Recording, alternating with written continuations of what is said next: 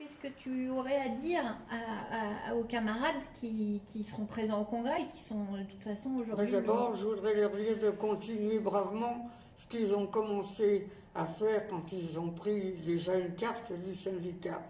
Et autour d'eux, que les gens prennent avec l'idée, parce que je vois bien, quand une, ferme, quand une boîte ferme, ils viennent voir un syndicat.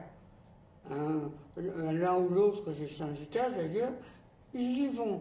Mais c'est avant qu'il faut y aller, pour que le syndicat ait plus de force au moment où, euh, où il y a des, difficultés. La place des femmes, elle est quand même de plus en plus importante. Moi, je dis toujours, quand on me dit le général de Gaulle a donné le vote aux femmes. C'est pas vrai. C'est nous, entre autres, dans la résistance, qui avons gagné le vote des femmes. On ne pouvait plus attendre pour, le mettre en, noir et blanc dans la Constitution, dans la loi, euh, dans les règles. Donc c'est bon.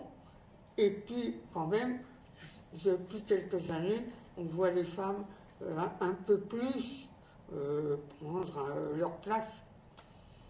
C'est vrai, vrai. Je dois dire que les métallos se sont rapprochés de nous Henri était dans l'armée, où il est resté quand même jusqu'en 62, pour ses 50 ans, euh, c'est Jean Breton qui a organisé euh, un repas, une rencontre avec les métallos. Bien sûr, on avait toujours la liaison avec Roger Lillet, puisqu'on avait été avec lui aussi dans les FTP, avant qu'il ne soit arrêté. Donc, vous êtes vraiment euh, le lien que j'ai gardé de cette résistance que j'appelle la résistance populaire, et dit bien ce que ça veut dire.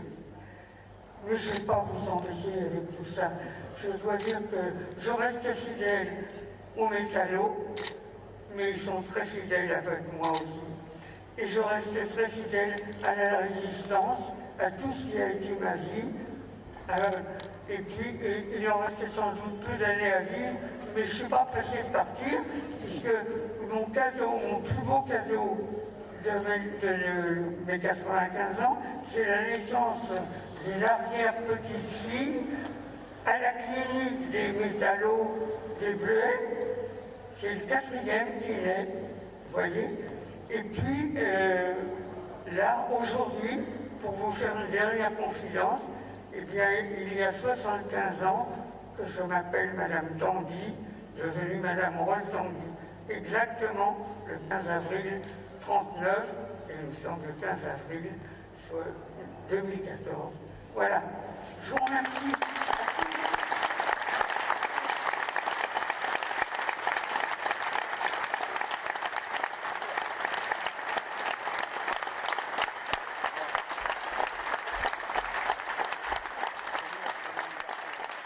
Alors à vous tous qui êtes là, euh, bien, euh, à, vous, à vous de vous mettre au travail pour que les syndicats prennent plus d'importance, c'est-à-dire et plus d'adhérents pour défendre tout ce qu'il y a encore à défendre.